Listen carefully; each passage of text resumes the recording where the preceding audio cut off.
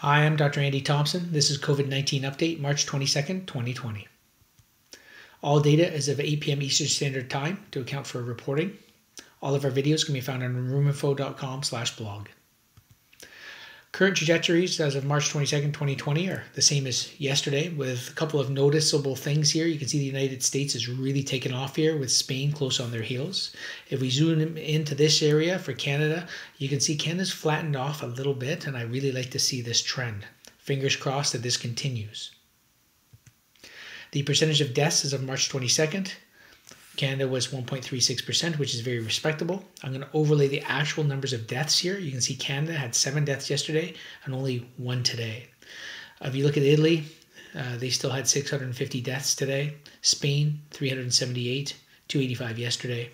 France was equivalent. England, 56 to 48. And the United States saw a very big jump from 46 to 114 today.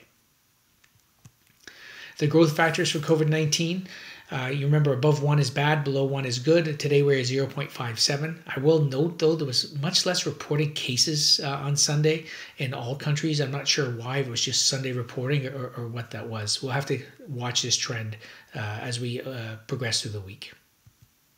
Average growth factors for Canada 1.06 overall and 1.02 for the last three days. That's great. We're actually approaching one. So, testing for COVID 19. So it's really important to test for COVID 19 to help stop the spread of the infection.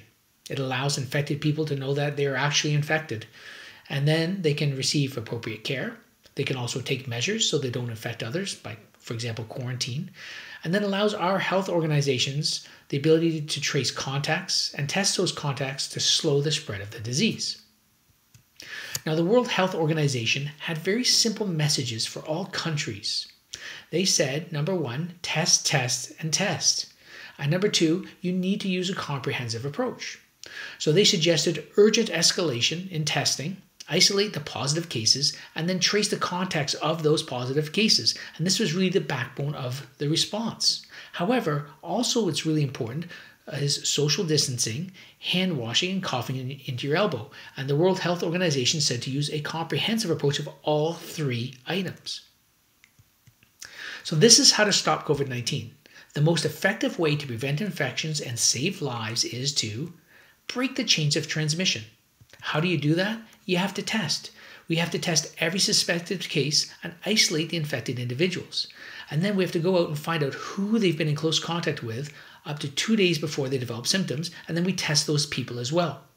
If we don't test, it's kind of like fighting a fire with a blindfold on. It's really difficult to do. So, with that in mind, how are we doing at testing? Well, Canada's doing pretty good. I'm going to highlight this here. We've run about 130,000 tests as of March 20th, okay? And that's about 3,400 per million people in Canada. Okay? If we compare ourselves to our neighbors to the south, who as of March 20th only ran 102,000 tests, we're actually doing pretty well. So let's look at the new cases per day. And you remember this graph yesterday, and this is the bell curve. And you remember it when an, an, in fact, an outbreak starts, the number of new cases per day rise, and then it ultimately plateaus, and then the new cases per day fall. So let's look at the graphs and see where we are with our countries. All right, there's Italy. They had a little drop off today, but remember I said that a lot of countries had a little drop off uh, uh, today? There's Spain, Germany, France, there's United Kingdom, and there's the United States. They did not have a drop off today. They continue to climb. And here's Canada, and we had a little drop off here. China, remember, peaked at 4,000 new cases a day, and Korea 800 a day. Okay, what's going to break our system is if we overwhelm our healthcare system. So this is the cases per thousand hospital beds. There's France, there's United Kingdom, there's United States, Canada, Germany, Spain, and Italy. And they're the two countries right now who are having the biggest trouble.